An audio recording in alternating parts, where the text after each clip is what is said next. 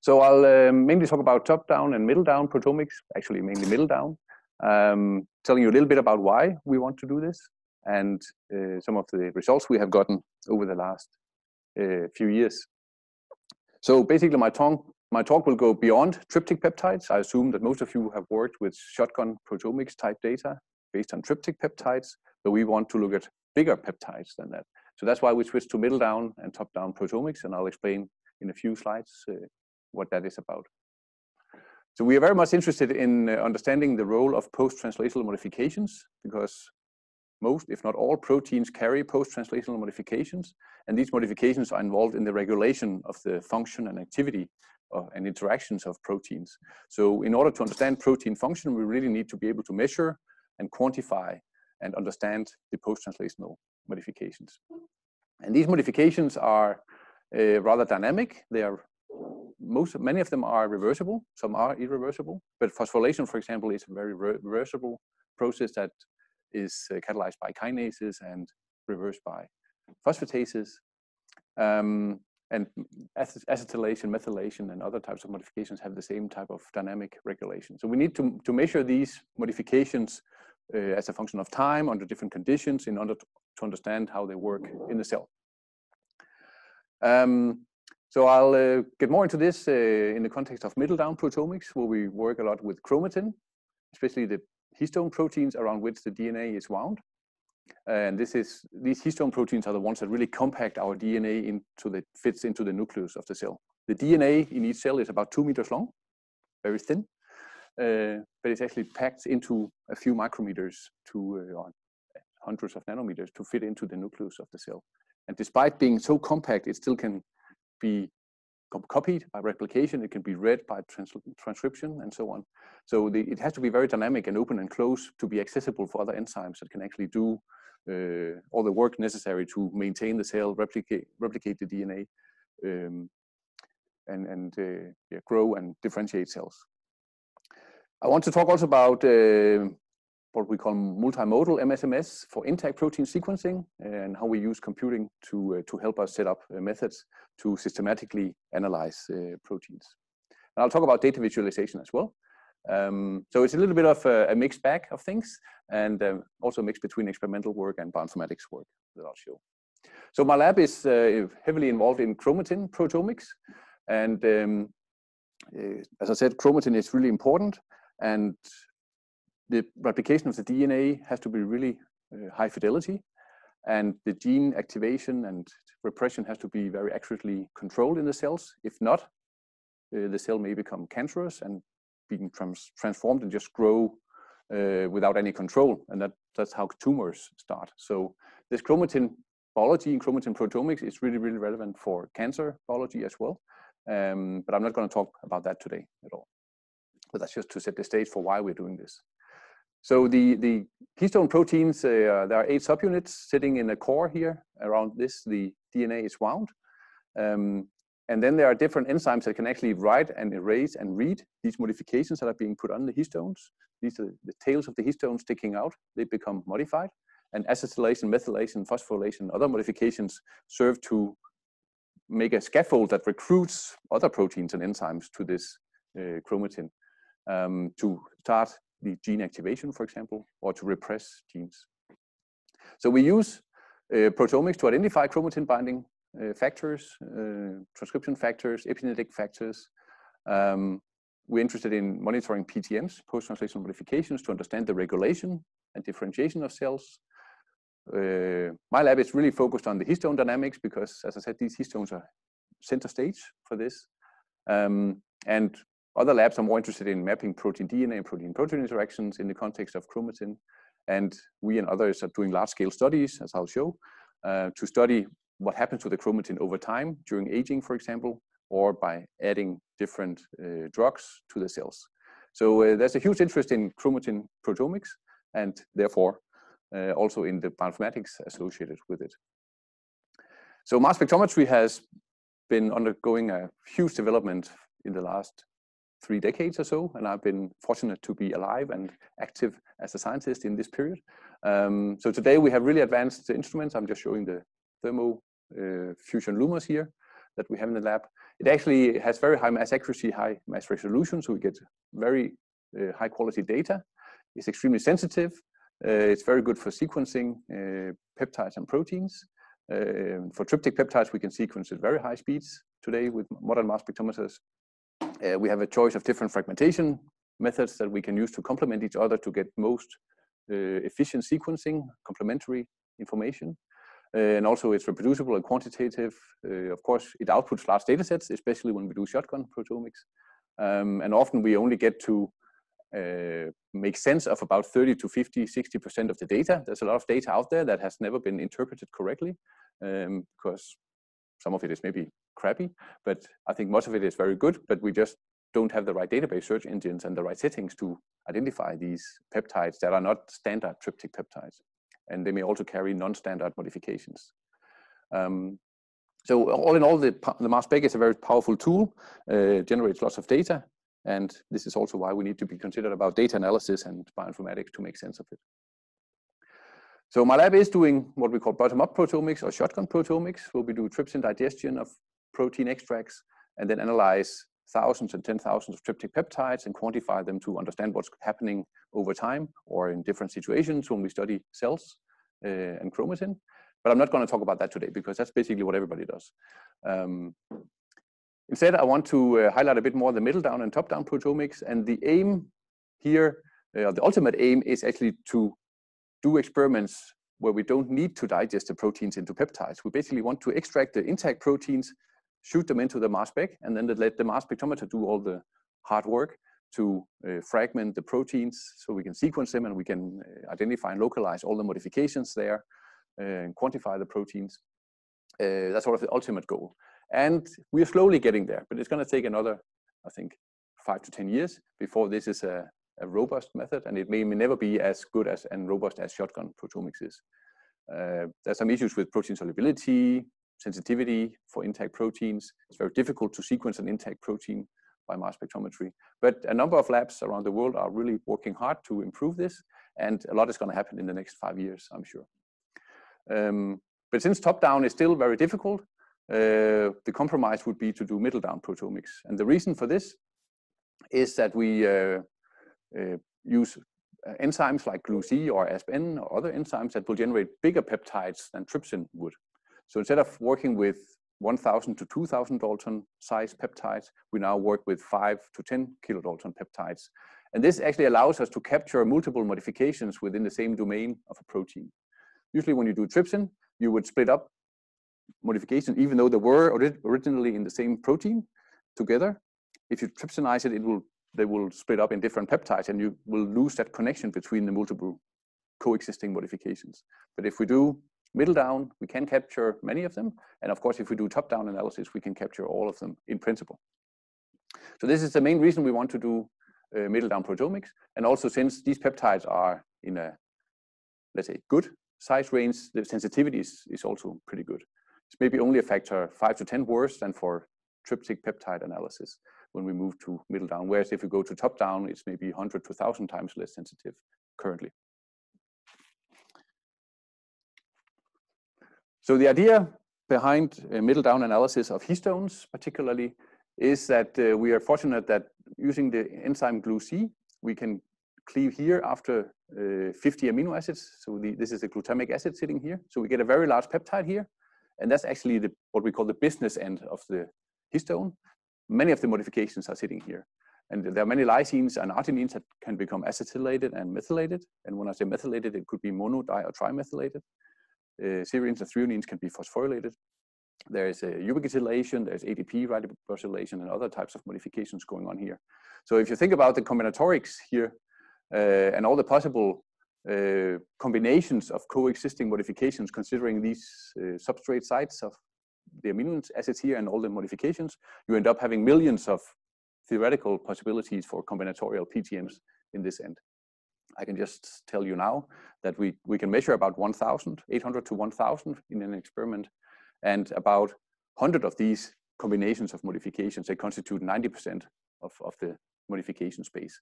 So it seems to be just a few hundred modifications that have a big biological role, but we can measure up to a thousand of them. And in principle, there could be hundreds of thousands. So these are the peptides we're actually analyzing by LCMS uh, mass spectrometry, uh, more than or up to a thousand and, and, a few more maybe. And based on the LCMS analysis with the middle down approach, we can then uh, enumerate all these combinations of modifications. And I hope you can see this. This is uh, K27, the lysine 27 methylated. It's a dimethylation, ME2 actually. Um, then we have K36, which is dimethylated. So this is a, a, a, binary mark. We call them histone marks with two modifications, dimethylation at lysine 27, dimethylation at lysine 36.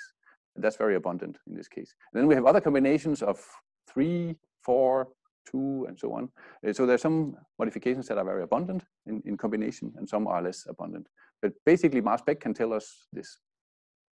We can also look at um, abundance of these by looking at the signal intensity, both in MS mode and MSMS mode. And uh, actually, in this case, we can distinguish two different isoforms, or two different protoforms of the histone, H31 and 2 and H33. Uh, they differ in just one amino acid, serine versus alanine in position 31. So we need the mass spec to tell us this difference in amino acid sequence. And on top of that, we get the modification information as well.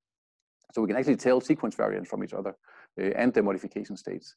And then for each site, for each lysine here, K4, K9, and so on, we can tell about the occupancy, uh, how much monomethylation, how much dimethylation, how much trimethylation, and how much acetylation. So we can get a lot of information this way. And we're just measuring one peptide in principle, right? That's a 50 amino acid peptide with all this information in it, uh, all these combinatorial modifications. so just to show you the uh, a little bit more of the experiment, here is the mass spectrum in a narrow range from 480 to 620. So we are mostly concerned about the 10 plus charge state. Um, and with a high resolution instrument, uh, like a good QTOF or a good Orbitrap, uh, we can get um, high resolution and we can actually get very accurate molecular weight determination. And we do MSMS and we use electron transfer dissociation, ETD, um, to get efficient fragmentation. And that's what you can see here. This is a peptide and you see we get many fragments when we do ETD. Um, this is one of the better ones, of course. Um, very rich spectra. After, so this is the raw spectrum. This is the deconvoluted spectrum. We use Mascot to help us uh, with data interpretation. Um, and so we can get very nice annotation of these big peptides, and therefore we can annotate all these modifications in the peptide. And there's this one amino acid here, alanine or serine, depending on the histone type, uh, that we also need to be sure about annotating correctly so that we can tell these uh, protoforms apart.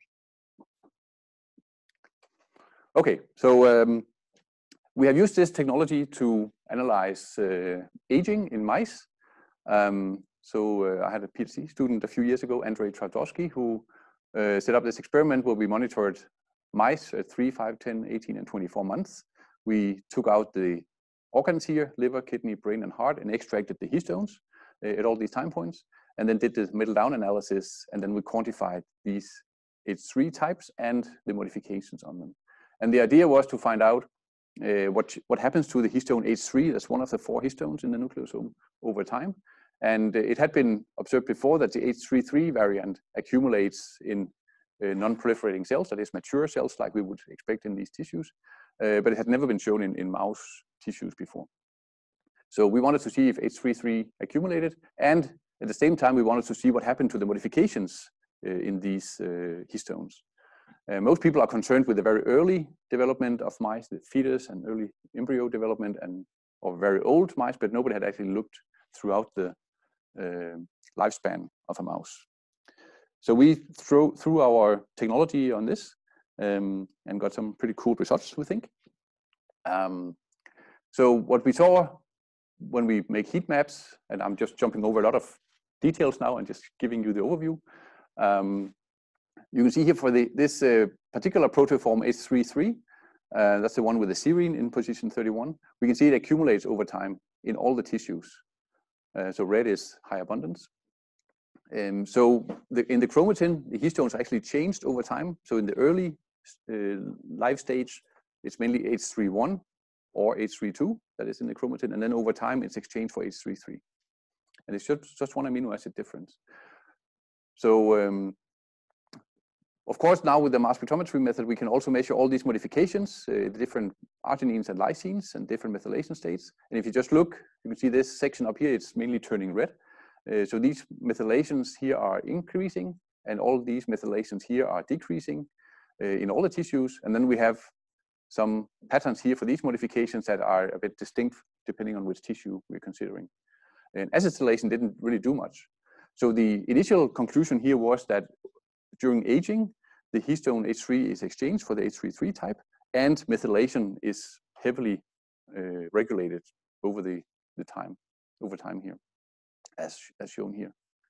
Uh, and you see the data is pretty nice, nice with the um, uh, standard deviations and, and the statistical significance. So we really can measure rather accurately how these modifications change. Then we can begin to look at these combinatorial uh, phenomena, which modifications like to occur together and which rarely or never occur together. And this is a nice way to show it with a logo type map. And you can see this modification combination here, lysine 9 dimethylation, lysine 27 trimethylation, very abundant. Uh, this one comes here also with the lysine 36 monomethylation. So these two are sort of related, uh, just differing by one mark. Uh, but there are many, many combinatorial modifications. And as I said, we can measure up towards 1,000 and about 100 of them constitute most of the, the histone uh, PTM space. Then we can uh, go into even more detail, uh, looking at for each of the tissues, uh, look at the, the fold change uh, over time for each of the combinatorial uh, modifications. I don't expect you to see this. These are just lists of all the combinatorial PTM marks. and you can see some of them are very abundant. This one, for example, also throughout all the tissues. Uh, some are less abundant, but change uh, depending on the tissues. Um, so this list goes on and on. Um, so we can get lots of uh, information from this. But you know, heat maps, kind of a old-fashioned way to look at things. They can be informative, but it's hard to look at a very big data set uh, this way. So um, Veit actually came up with this idea of developing a tool um, where we can determine what we call the interplay score to understand how these modifications uh, interact with each other. So the idea is that if you measure individual PTMs by mass spectrometry or other methods, then you may get a, a occupancy value of about like 30% for this modification and 50% for this. And then if you uh, want to predict how often they co-occur, you can of course multiply these two numbers with each other, and that would be the probability of them occurring together based on the individual measurements here. Um, so that would be 15% in this case. But now we actually have measured them as well by mass spectrometry. So we know the relative abundance of these combinatorial marks. Um, so in this case, let's say it was 30% observed. So instead of the expected 15%, we now see 30%, or it could be that we saw only 1% instead of the expected 15%. So just by taking the, the ratio of the observed and the, uh, expected uh, numbers here and taking the logarithm, we have this interplay score. So if the interplay score is much less than one, it means that these two modifications rarely or never occur together. Whereas if the interplay score is very high, means that these two modifications like to occur together and they're codependent. And this gives us information that is biologically relevant, right? Uh, supposedly. Uh, fortunately, it is like that. Um, because when we then analyze these uh, modifications, like the this uh, lysine 36 dimethylation and lysine 9 dimethylation, we can see they are negatively uh, correlated, mutually exclusive. Same goes for the K36 dimethylation and K27 trimethylation. This is also known from the literature, whereas the K36 dim dimethylation and K27 dimethylation, they are positively correlated. That's also known. So we can confirm uh, what has been reported already in the literature. Um, and of course, we now can look for new phenomena so basically, based on this data, we can uh, conclude that there's negative crosstalk between these between these modifications and these modifications, and positive crosstalk between these ones here.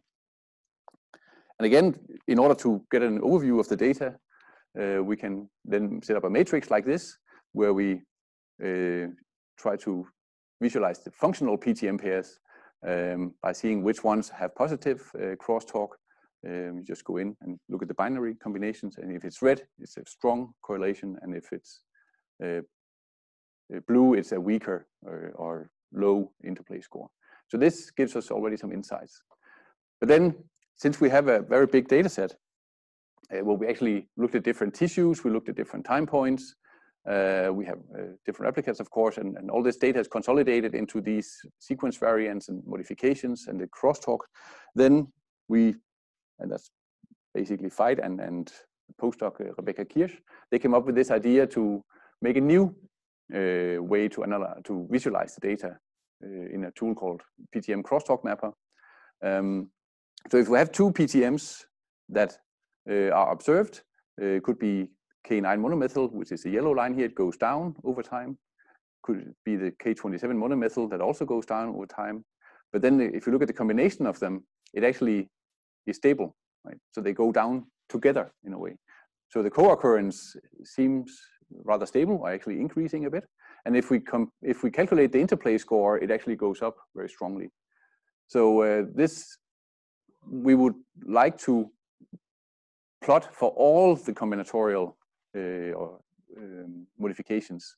And so they came up with this representation here, a two-dimensional plot with the transformed data, um, where this combination uh, of modifications is plotted in a vector space here, where you can see it moves from the low interplay zone towards the high interplay zone. And this basically represents this increase here. Um, but this is a nice, nice way to, to show this in a 2D plot. And actually the, the color of the arrow uh, tells about the um, abundance of the modification of interest. So this is um, a way now to plot this for the same combina combination here, K9 monomethyl, K27 monomethyl, but now for the different tissues. And now you can see that brain, kidney, and liver, they kind of stay in this space here. So there's not very much happening to the interplay, but the heart shows this much stronger change in interplay over time. So it's a pretty nice and simple way to, uh, to get a, a, quick view of what happens. And of course, now you can do this for um, more modifications for each of the tissues and uh, see that, again, some of them are not, there's not much happening to the crosstalk or the interplay, but some of them actually change. Uh, in this case, it actually doesn't change the interplay score. It just follows the diagonal here. But again, these guys here, they move quite a bit. Um, so this is a new way to visualize these uh, binary marks and find out which ones are interesting to follow up on and which are maybe less interesting um, when we look at the different uh, tissues here. So this data set we have worked on and we're still working on it. Uh, it's been taking some years now, uh, trying to come up with new ways to visualize and analyze uh, these very complex multidimensional uh, data sets. So the LCMS platform that we have, the middle down proteomics platform, we find really uh, robust now. Uh, there are not so many labs around the world doing this yet, but uh, there's a lot of interest around there. We have quite a number of collaborations going on, and there's more and more interest in actually to see what's going on with these histones because they're implicated in epigenetics in cancer development as well. And also we're developing computational tools to help us um, interpret this data and I just also want to mention this crosstalk DB database that Veit also has developed, where we store all the information uh, about these combinatorial marks and all the quantitative data as well. So if you want to have a look, you can visit the crosstalk DB. Okay. Um, second part of my talk, I want to move to the intact proteins, uh, top-down proteomics. And this, this is the ultimate top-down experiment where we uh, try to take a whole mosquito and put into the mass spec. Uh, actually, we didn't want it. it it was one morning, uh, a couple of students came into the lab and found out that the mass spec was clogged. Um, and apparently this mosquito had gotten into our lab and uh, died a crude, cruel death. Uh, there, there, are 2,000 volts from the from the needle tip here to to the inlet here. Uh, that's the tip. So probably got first got electrocuted, then it got into the vacuum with its head and got the brain sucked out or something. Um, anyway, it did. It died, and uh, but uh, it didn't end up inside the mass spec, fortunately. So we didn't have to clean it. We could just pull it out. Uh, that was just a transition to go into top-down proteomics. So to alleviate the problem of malaria, we have to drop down a lot of mass specs to Africa. Yeah, and then you had to you, then you train the mosquitoes to yeah. fly in. Yes. yeah. Okay, so um, uh, when we started this project that I'll talk about now, we, we just uh, had gotten this new instrument, um, an Orbitrap uh, tribrid, which allows us to do uh, rather fancy analysis uh, under many different uh, experimental conditions. So um, Shliaha, who was a postdoc at the time, he came up with the idea to automatically set up methods that would screen through many, many parameters to find the optimal parameter for a given protein to obtain as much information as possible. And then um, doing this, uh, he came up with this matrix representation for plotting the data. I'll get back to that. And also how to visualize the sequence coverage we get. Um, so the instrument is, is this uh, tribrid, as I said. Um, it allows us to fragment the proteins and peptides uh, with different fragmentation methods, collision-induced dissociation, electron transfer dissociation, higher energy collision dissociation, electron transfer combined with HCD, it's called ET-HCD, and then ET combined with CID. And then also the new one is UVPD, ultraviolet photodissociation, uh, which gives a slightly different fragmentation than the others. Um, so we want to play with this instrument to uh, see how we could improve protein sequencing uh, at the intact protein level. Uh, hopefully we could enhance the sequence coverage and also get more accurate PTM mapping and eventually quantify the PTM. So right now we are at this stage here, we're enhancing sequence coverage. We, we have some computing and data analysis issues in working with the PTM mapping.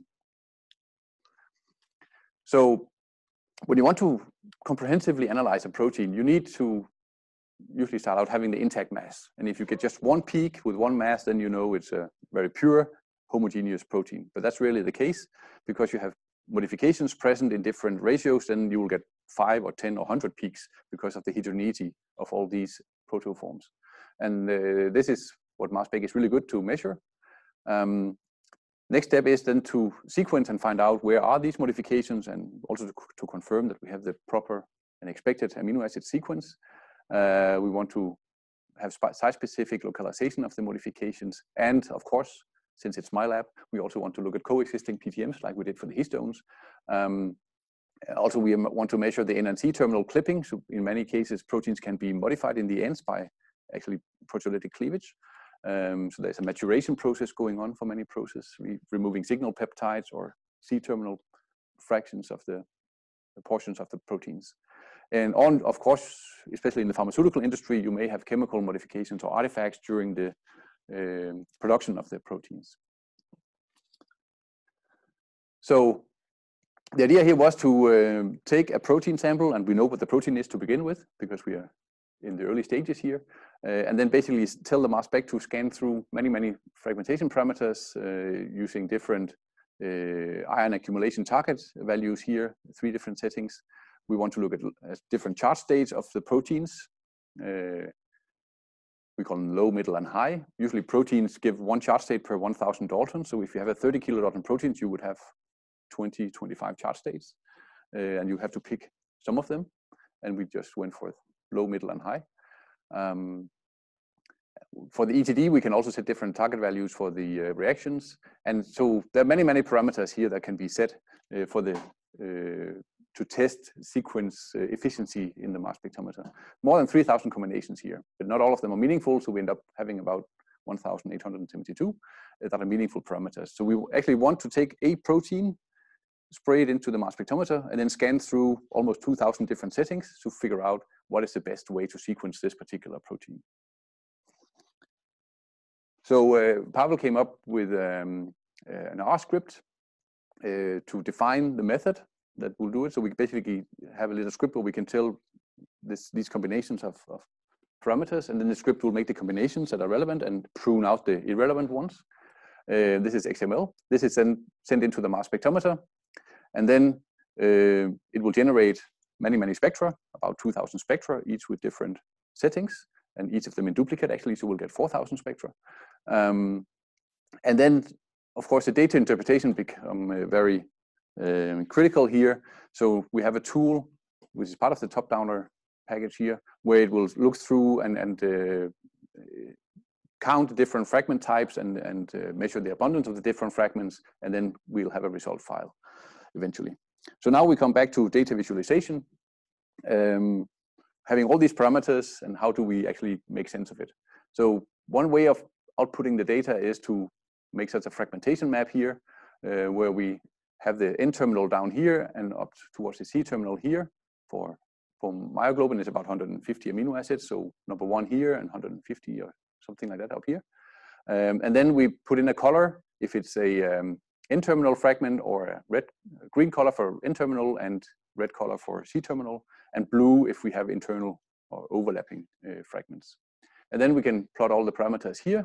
Uh, and what you see immediately is that CID and HCD methods are not very good. There are lots of white space here, so these methods are not very efficient for fragmentation. ETD is, is much better. ETCID is also good, but has problems in the middle of the sequence, very little here.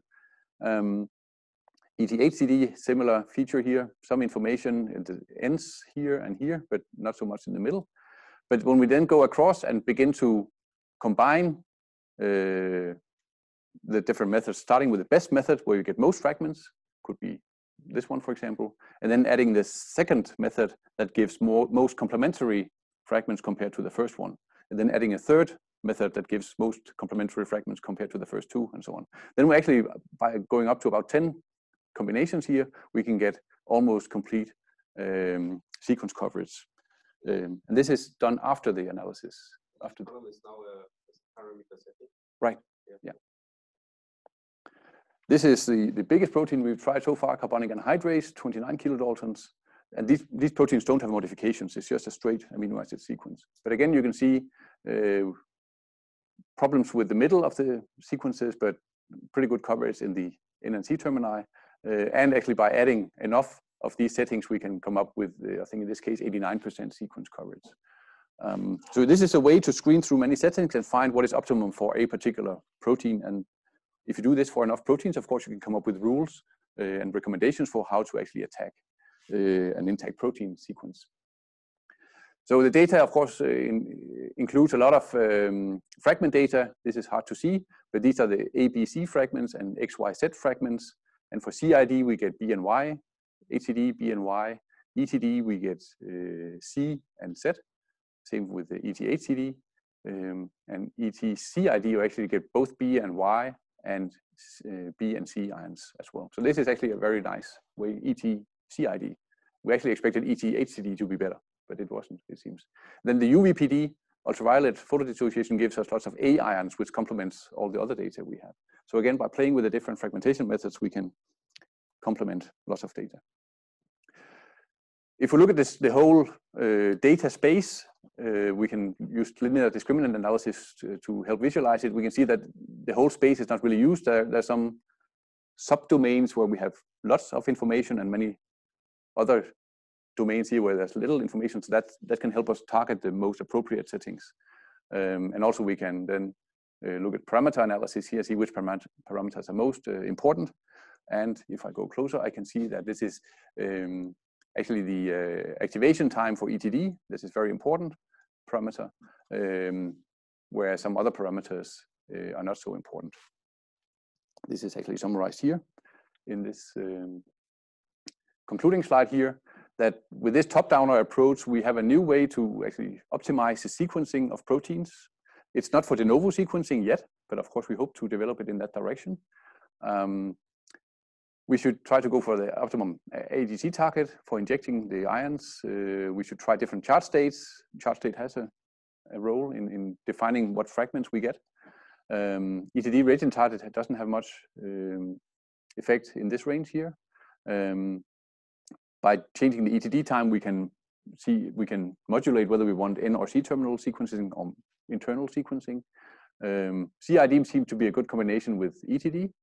Um, especially ETD together with UVPD, HCD, or CID gives this uh, maximum sequence coverage.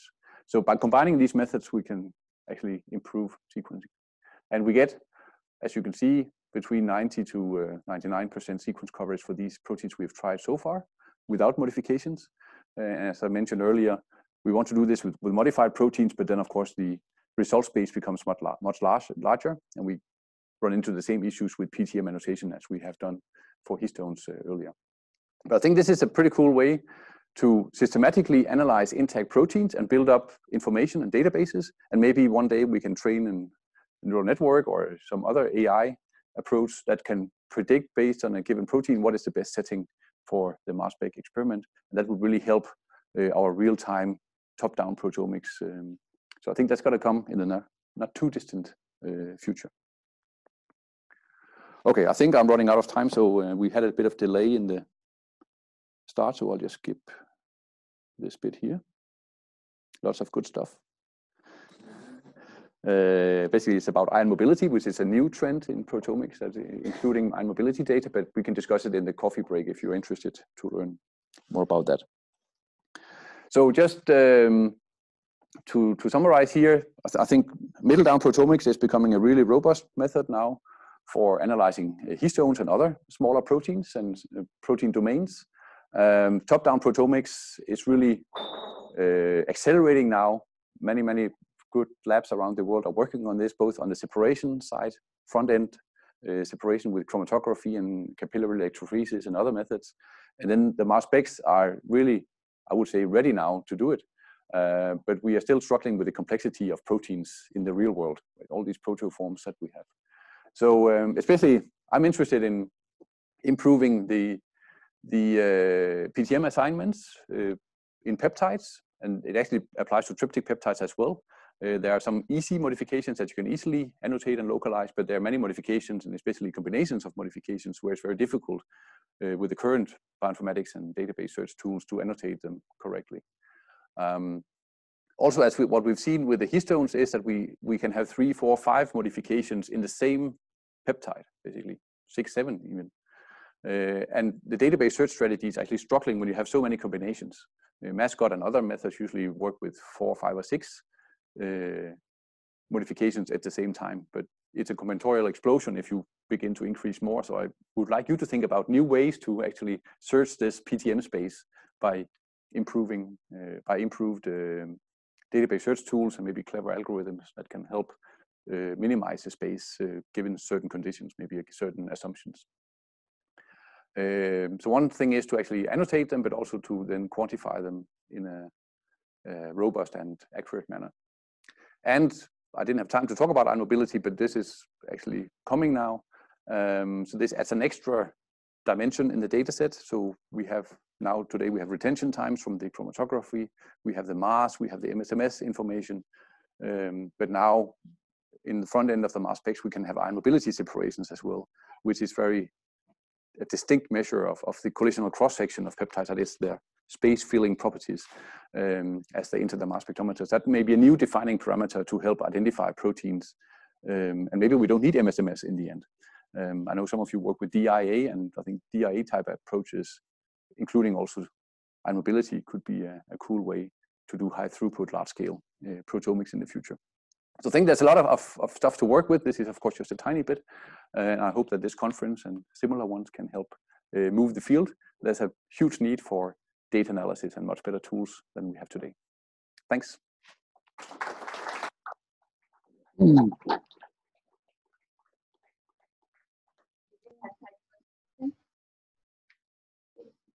I really like the um, idea of crosstalk deal with experimental error variation reading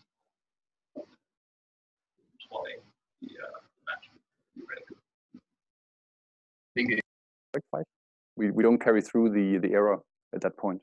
Uh, we just take the values we found. Of course, there is an error associated with it, but it's usually a small error, as I showed.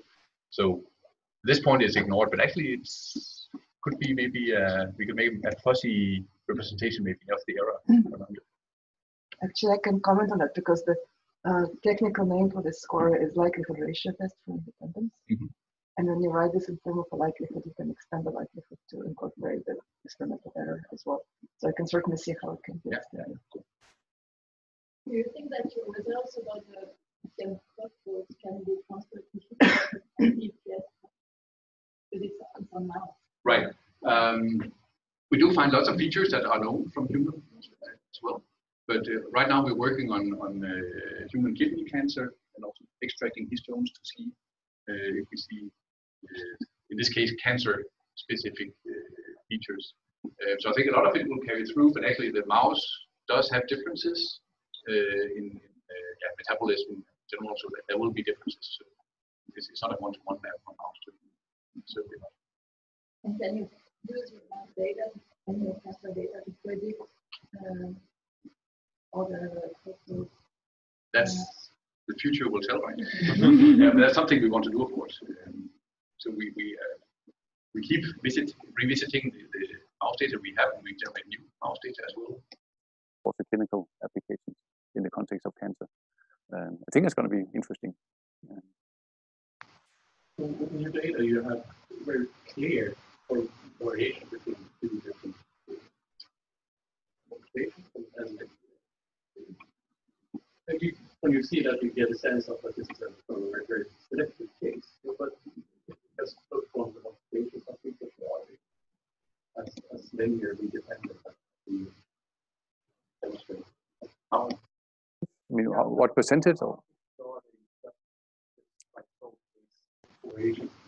The, I think the ones we have here, they are, they are in, in the top 100 combinatorial space. Uh, so I said that we maybe have 1,000 modification combinations mapped out, and the ones I showed you are in the top 50, I would say.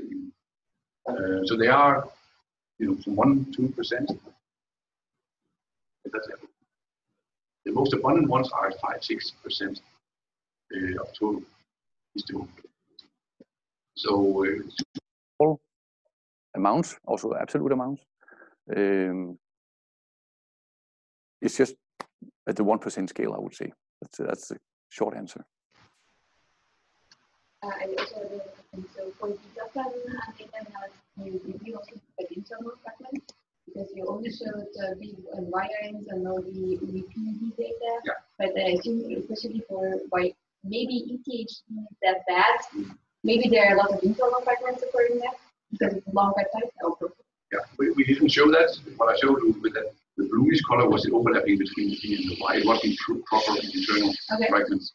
Uh, Search space, right?